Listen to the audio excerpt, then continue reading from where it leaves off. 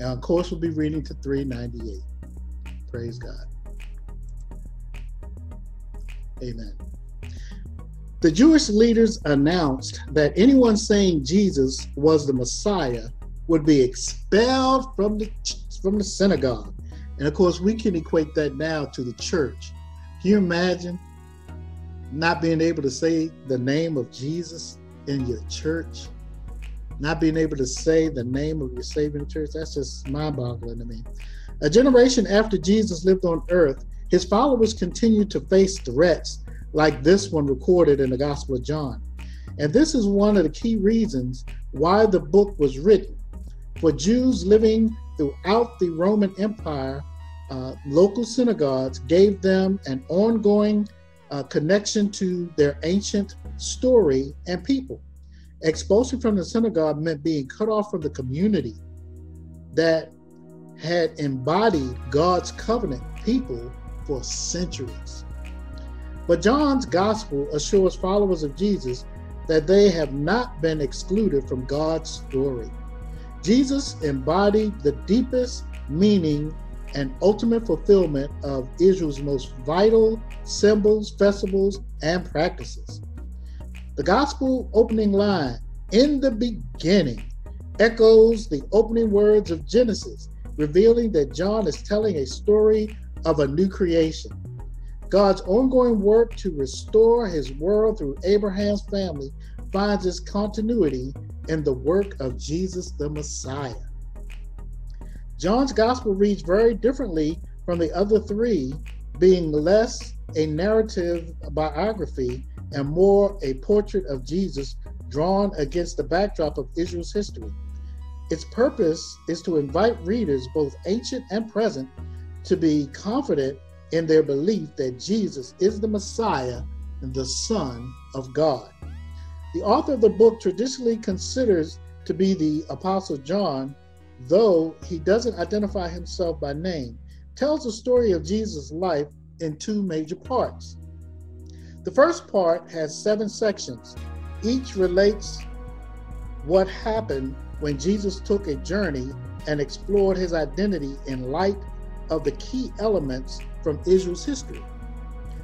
The centerpiece of this part of the book is the fourth section, the other six sections are paired with one another thematically from the outside in as shown below. Of course, you have to turn the pages to see what I mean by shown below.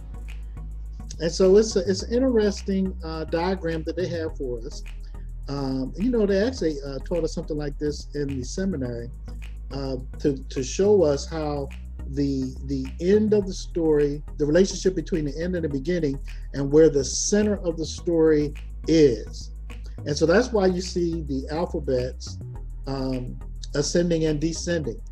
It's actually one of those tools uh, that they teach you uh, in seminary to draw out the center or the theme uh, of the whole book. It's pretty awesome that they did that in here. Uh, of course, A, Jesus in light of a new creation, that gives you your pages there.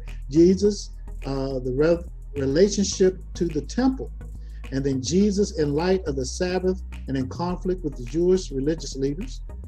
And then in the center, Jesus as the new Moses against the backdrop of the Exodus. And then C, Jesus in light of the festivals of shelter and in conflict with the Jewish religious leaders. And you notice that the C's line up. I want y'all to kind of get how they um, this tool is used. So the C's line up. Jesus in relationship to the temple uh, dedicated festivals. See how it lines up. The B's line up. And then the A, Jesus in light of the resurrection. So you go from creation to resurrection. It's pretty interesting. Near the end of each section, the author describes how people uh, did or did not believe in Jesus after everything they had seen and heard. A recurring theme of the Gospel of John is the number seven. For Jews, this number in, indicates a consummation, consummated work of God and recalls the completeness, completeness represented by the seven days of creation, often called the Book of Signs. This first part of the gospel details Jesus performed seven mighty signs that revealed his glory. The gospel also contains seven discourses, which are long speeches in which Jesus unveils more about who he is. Finally, we find Jesus presenting seven I ams uh, statements in the gospel. These statements draw on the rich stock of imagery from the First Testament, uh, including the bread of life and the Good Shepherd, the gate and the vine. The second part of the book, uh, going from uh, pages 424 uh, to 436, essentially tells the story of Jesus' final days. It begins with the last Passover meal with the disciples following followed by a long presentation of his instructions to them. Jesus speaks of the meaning of his death, the battle against the rulers of this world, and he prays for, uh, to the Father for the unity of his followers, which will enable the world to believe their message about Jesus after he departs. Jesus then enters into the glory through his obedient death, which is why this part of the gospel is often called uh, the book of glory. Before it brief, before its brief epilogue, the gospel closes by telling uh, Jesus' resurrection on Sunday morning and the first day of the week with Jesus, the life and peace of God's new creation, truly has broken into the world. Praise God. There's Sharon. Praise God. All right. So, that was good. But to uh, even bring more clarity, of course, you know, I did uh, a little presentation so that y'all can get a little bit more depth. So uh, I do include uh, the video, which I love from the Bible Project. Uh, you know, I love these guys. If y'all haven't taken advantage of it, uh, you ought to. The Bible Project breaks it down into two parts, just like we read in the Messiah book. Part one goes from uh, chapters 1 to 12, and then part 2, 13 to 21. Um, the Bible Project, that team is phenomenal. I love them. So uh, enjoy the video. I'm only going to give you the first part. And then when we get ready to go into the second part, uh, I'll just do the video, and then whoever is leading for that particular uh, night uh, will uh, go ahead and lead. And I'll just do the little uh, introduction to chapter 13 to 21. So let's enjoy this.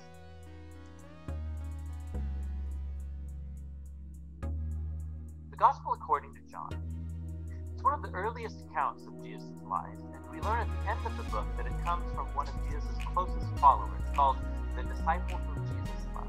And he appears many times the story itself, and there's some debate about whether it's John the son of Zebedee, one of the twelve, or a different John who lived in Jerusalem and was known in the later church as John the Elder. Whichever John it was, the book embodies his eyewitness testimony, and it's been brilliantly designed with the clear purpose that he states near the end. John says, The story is written so that you may come to believe that Jesus is the Messiah, and that by believing you may have life. John believes that the Jesus you read about in this book is alive and real, and that he can change your life forever. The book's design is really cool. Its first half opens with an introductory poem and a short story that's followed by then a big block of stories about Jesus performing miraculous signs that generate increasing controversy. And it all culminates in his greatest sign, the raising of Lazarus, which creates the greatest controversy as Israel's leaders decide to kill Jesus. And that launches into the book's second half. These chapters focus on Jesus' final night and last words to his disciples, which are followed by his arrest, trial, death, and resurrection. The book concludes with an epilogue.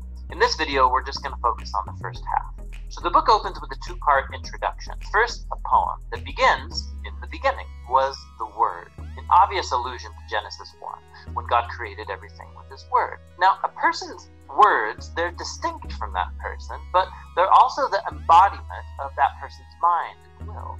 And so John says that God's Word was with God, that is distinct. And yet the Word was God, that is divine.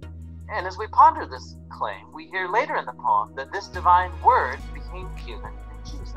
Then John goes on to draw from the stories of Exodus, saying that Jesus was God's tabernacle in our midst. The glorious divine presence that hovered over the Ark of the Covenant became a human in Jesus, which leads to his last claim that the one true God of Israel consists of God the Father and the Son, who has become human to reveal the Father to us.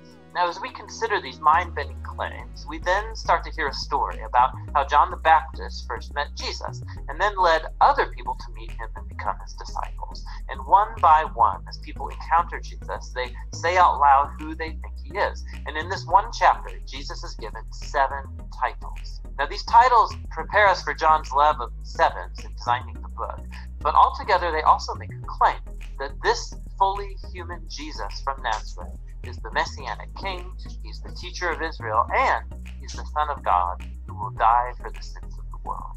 And that's a big claim to make about someone, and John will now go on to support it through the stories in chapters 2 through 12. They all have the same basic pattern. Jesus will perform a sign or make a claim about himself, and that will result in misunderstanding or controversy. So, in the end of each story, people are forced to make a choice about who they think Jesus is. The first section shows Jesus encountering four classic Jewish beliefs, and in each case, Jesus shows that he is the reality to which that is pointing. So Jesus is at a wedding party. and wine runs out. And Jesus then turns a huge jug of water, the blue speakers in the office. total, into the best wine hmm? ever. And the head waiter says to the groom, You saved the best wine for last. Which is, of course, true. But John also calls this miracle Jesus' first sign. In other words, it's a symbol that reveals something about Jesus. So just as Isaiah said that the Messianic kingdom would be like a huge party with lots of good wine, so this first miraculous sign reveals the generosity of Jesus. Next, Jesus goes to the Jerusalem temple, the place where heaven and earth were supposed to come together and God would meet with his people. And Jesus asserts his authority over it, running out all the money exchangers, stopping the sacrificial offerings. And when the temple leaders threaten him, he says, Destroy this temple, and I will raise it again in three days. Jesus' claim that his coming sacrificial death is where heaven and earth will truly be together. His body that will be killed is the reality to which the temple building points. Then Jesus has this all night conversation with a rabbi named Nicodemus, who thinks that Jesus is just like him, another rabbi and teacher for Israel. But Jesus says that Israel needs much more than just another teacher with new information. Israel needs a new heart and a new life. Or, in his words, no one can experience God's kingdom without being born again. Jesus believes that humans are caught in a web of selfishness sin that leads to death. But he also knows that God loves this world. And so he's here to offer people a new birth, a new chance at life. From here, Jesus travels north, and he ends up at a sacred well in a conversation with a Samaritan, that is a non Jewish woman. And they start talking about water, which Jesus turns into a metaphor for himself. He says, He's here to bring living water that can become a source of eternal life. Now, in John, this term refers to a new quality of life, one that's infused with God's eternal love, and it's a life that can begin now and last on into the future. After this, John has designed another collection of stories that took place during four Jewish sacred days or feasts. And again, Jesus uses the images related to the feasts to make claims about himself. So Jesus first heals a paralyzed man on the Sabbath, which starts a controversy with the Jewish leaders about working on the day of rest. And Jesus says it's his Father who's working on the Sabbath, and so is he. And they catch his meaning that he was calling God his Father, making himself equal with God, and so they want to kill him. The next story takes place during Passover, the feast that retold the Exodus story with the symbolic meal, ham, bread, and wine. And Jesus miraculously provides food for a crowd of thousands, which results in people asking him for more bread. And then Jesus goes on to claim that he is the true bread, and if they eat him, they will discover eternal life. And this offends many people who stop following him. After this is a block of stories set in Jerusalem during the Feast of Tabernacles, which retold the story of Israel's wilderness wanderings as God guided them with a pillar of cloud and fire and provided them water in the. And Jesus gets up in the temple courts and he shouts, If anyone is thirsty, let them come to me and drink.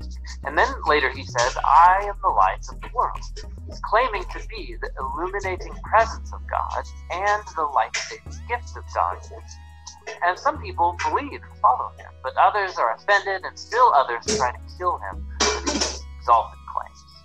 The final feast story is during Hanukkah, which means rededication. It's about how Judah Maccabee cleared the temple of idols and set it apart as holy once more. And Jesus goes into the temple area and says that he is the one God has set apart as the Holy One, and that he is the true temple where God's presence dwells. And he also says, I am the Father of one. This makes the Jerusalem leaders so angry, they set motion a plan to kill Jesus, and so he retreated. Now, all these conflicts, they culminate in one last miraculous sign. Jesus hears that his dear friend Lazarus is dead, but his family lives near Jerusalem, which is now a death trap. Now, Jesus could stay away and he would save his own life, but he loves Lazarus. So once he hears that Lazarus has died, he goes to raise him from the dead. He calls him to life out of his knowing that it will cost him his own life. And the news of this amazing sign it spreads quickly, of course, and just as Jesus knew it would happen, the Jerusalem leaders about it and begin conspiring to murder him.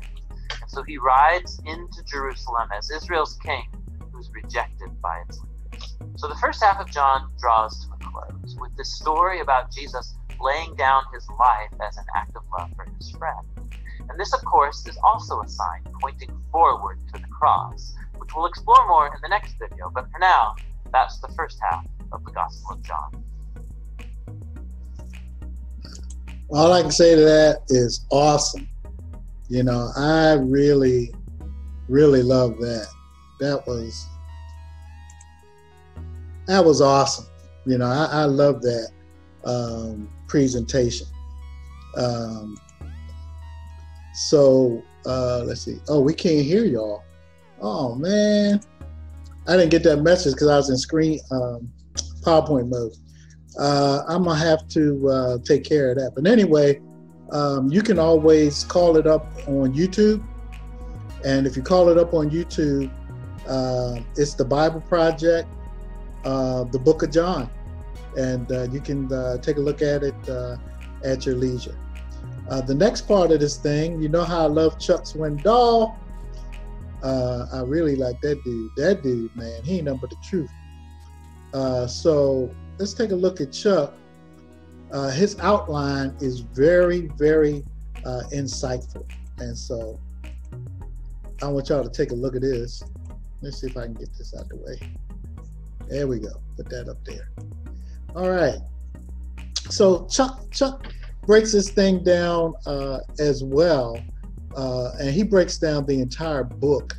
Uh, and y'all can take notes from Memphis if you like, uh, but he actually takes what uh, the Messiah introduction said, and he takes what the Bible Project says, and he puts it in this wonderful graphic uh, where it displays all the information like on a single page.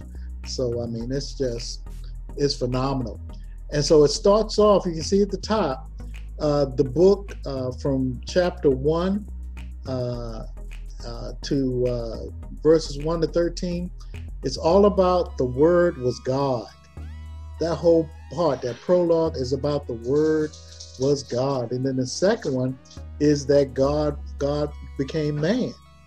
You know, and that takes you through chapter 4, uh, almost to chapter 5. And then it talks about the ministry of Christ. And and then it goes from there to his discourses. And, you know, they said that, that are, those are his long uh, speeches uh, that he gives uh, and teachings. Then it goes to his trial and death. And then uh, it goes to the empty tomb in 20. And then uh, the assurance, we're talking about uh, basically the resurrection and him proclaiming our, our future uh, which is awesome. And then you can see how they break it down in these stages. It's so cool. You know, you get the prologue where it talks about the deity, his acceptance uh, as a man. Then, of course, the conflict that he had with the Jewish leaders uh, in his ministry uh, and the doubters. And then, of course, the preparation. Uh, and that was the preparation for his his passion. and then, of course, the crucifixion itself, and then his, tri- his triumph uh, which is awesome. Uh, and then he looks at this. Look at this right here, the audience. Uh, first is a public message, then it's private. The last half is him really giving instructions to his disciples, kind of preparing their hearts uh, to uh, be able to uh, carry the word on after he he raises from the dead. Uh, and that second half really centers around uh, the last week of his life. You know, it's putting it all in this nice, nice little package where he can um, hopefully prepare his disciples uh, to, to turn the world upside down. You know, and then uh, below that, uh, we get to the seven I ams. Now, we talked about that in the Messiah book when I gave you the introduction. And you can see, I am the bread of life. I am the light of the world. I am the door. I am the good shepherd. I am the resurrection and the life. I am the way, the truth, and the life. And I am the true vine. Those are all in the in the last seven days of the second half of uh, the book of John, where he's having these conversations with his disciples, reassuring them exactly to who he was. And they say the theme, Chuck says the theme of the whole book is salvation comes only through Jesus Christ, the Son of God. Somebody can say amen to that. Uh, and then the Christ. Where is Christ in the book of John? Chuck uh, Swindoll loves to do this. He likes to find Christ in every book uh, that he outlines. And of course, the Christ in John is probably one of the easiest books to find. I mean, the easiest center to find. So you see, Jesus is the Christ, the Son of God, the way, the truth, and the life, uh, who alone is the revelation of God and salvation uh, of the people. You know, and I mean that's that's really that's really an easy thing, really easy thing. Now he says the key verse. Uh, Chuck Swindoll says the key verse is 20, 21, and I happen to agree with that um, because this is like the thrust of what this is all about. Uh, this is the New Revised Standard, and of course, verse 21 says, Jesus said to them again, Peace be with you. As my Father has sent me, so I send you. Now, y'all got to believe that's what this is all about. Christ is preparing the people to be sent. And guess what? He's preparing uh, the people to be sent and also for them uh, to become um, uh, mentors of those who will be sent as well. So the senders are supposed to send others uh, in that same mission of reconciliation. Uh, they're supposed to be sent as well. So um, that's the overview of John in a nutshell. And uh, I would like to see what y'all got out of the reading uh, this week for the introduction. So uh, I'll give everyone a chance to uh, chime in. Uh oh, we lost Sharon. Okay. All right. Tell me what you think of the reading this week.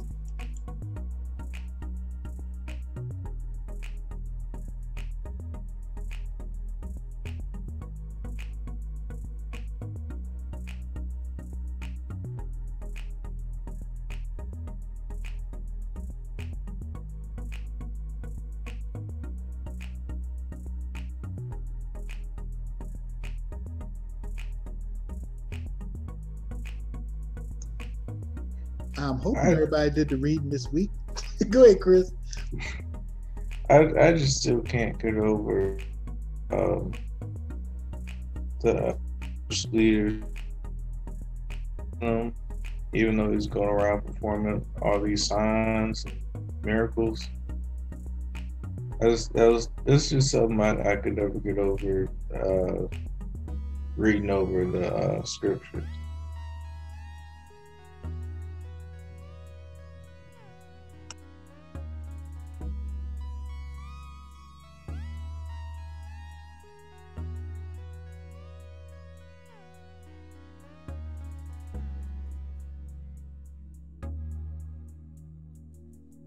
Anybody else?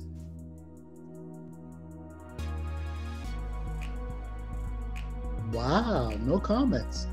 Okay.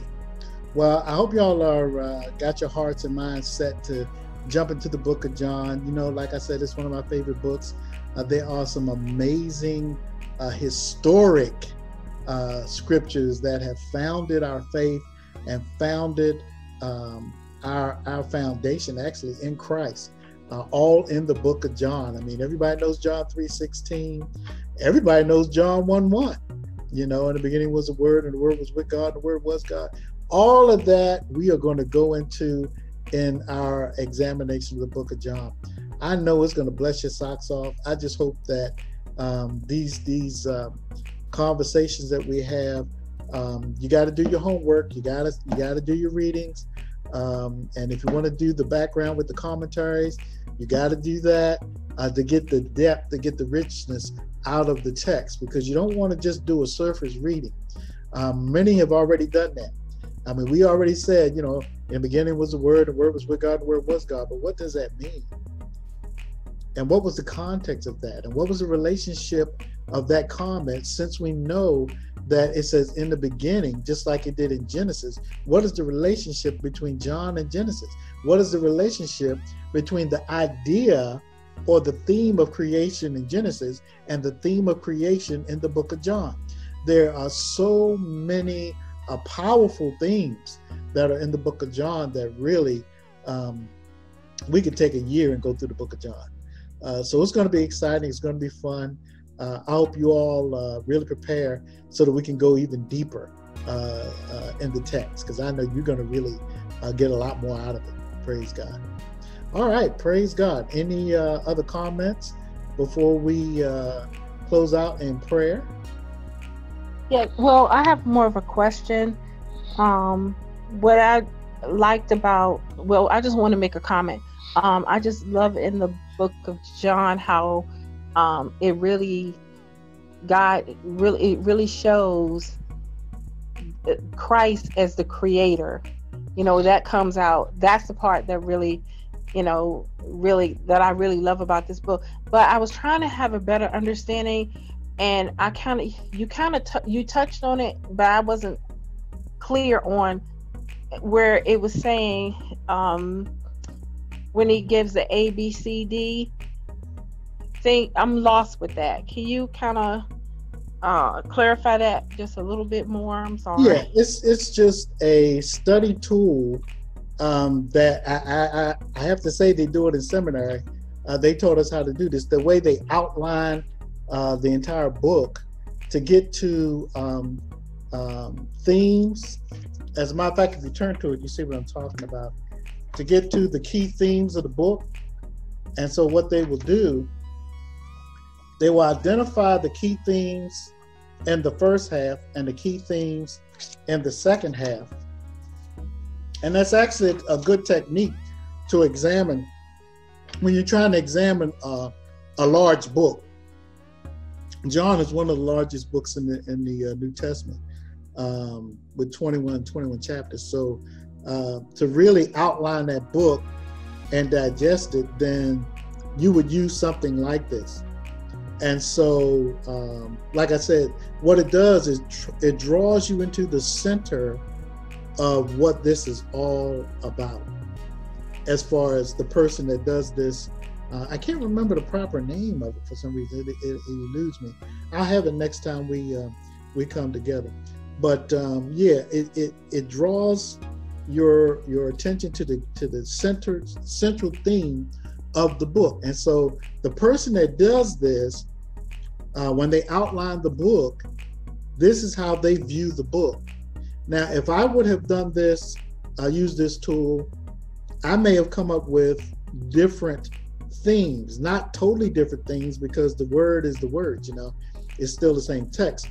But I may have been drawn um, drawn to something a little different, you know, looking at those um, those themes. Now they're using the Messiah book to draw their themes, the Messiah Messiah Bible, the immersed Messiah Bible. They're using that, but uh, we use uh, something like, you know, the King James, actually the uh, the, uh, the the the revised standard version.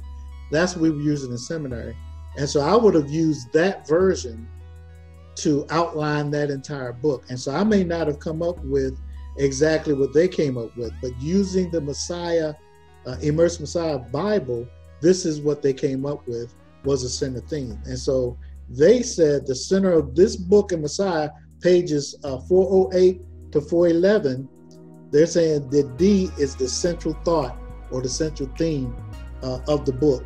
And then as you as you as you go in, you got chorus, corresponding corresponding themes. Like the A's correspond, the B's correspond, the C's correspond, and then of course the D is the central theme. And uh, I know it's kind of difficult to understand, but that's really the whole concept is to help you um, understand the relationship of the whole book, the unity of the whole book, um, how it flows, and what what holds um, um, what holds the central thoughts, the central themes of, of the entire book. So, Brina, I hope that helped you a little. Um, maybe maybe it would be easier um, if one day I teach y'all how to do that uh, to a book, how to actually outline a book using this technique, uh, and then you know it'll be a lot clearer. So you know, for some people, it's easier to actually do it to understand it uh, than to read about it or see it. You know, um, so it helped me because I'm not just one that can just read it and get it. You know, I like to read it and and, and do it in order to really get the uh, deeper understanding of what the world is going on. But um, yeah, and so that's what they're saying. Um, the way the Messiah lays out the book of John, the central thought is Jesus as a new Moses against the backdrop of Exodus. Now, if you looked at what Chuck Swindoll said, that wasn't that wasn't the central central theme. That wasn't the central thought. So he outlined the book differently, you know. And so that's why I said, you know, you can uh anybody, you know, if I did it, like I said, I probably would come out with something a little different, but uh, all of it's to help you get a clear an understanding uh, of the book and the relationship of the text, how it, how you know the unity uh, of the whole book, how everything flows. So, uh, hopefully that helped you out a little bit.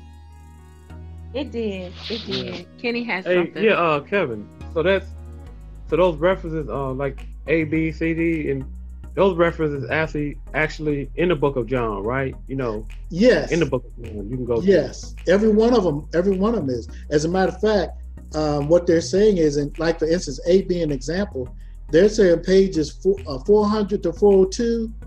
This is the theme of those pages of that reading.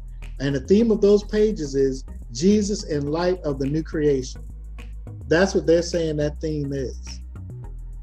And then, of course, the next one, it says from uh, page 40, 402 to 406, Jesus in relationship to the temple. So they're saying on these pages, every one of those pages has something to do with Jesus' relationship to the temple. And so as you go through, uh, and you see, like I was saying, the relationship of the B's, you go to B down on the bottom where it's going out to the end of the book, they're back at Jesus in relationship to the temple uh, dedicated festival. But they tied it to uh, these pages are going to have something to do with Jesus in the temple. So that's how they um, outline. This is how they outline the entire book so that you can see the unity of the book and catch the clear themes of the book. So, uh, yeah, every one of these is in the book. And as you go through, as we go through this reading, you're actually going to see that.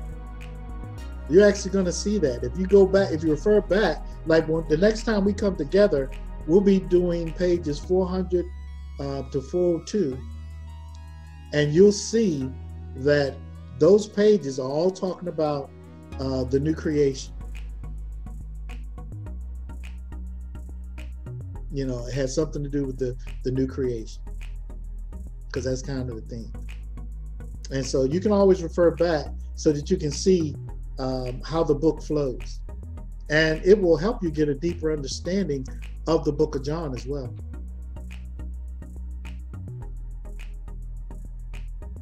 Any other questions?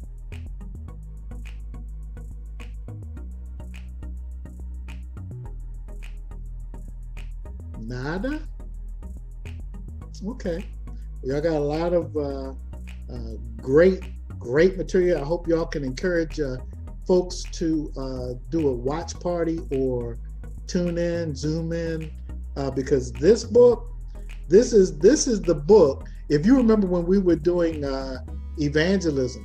And we were going out, uh, if we led someone to the Lord, and even in the church, if we led someone to the Lord, we gave them a new uh, uh, a salvation kit, a kit for new converts, and in that kit was a small book of John, if y'all remember.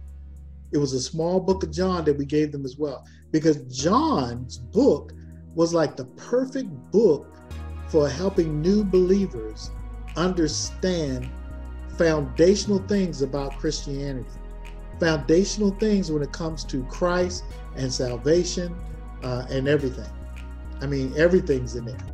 Uh, so, I mean, it's like a the perfect book uh, for new believers.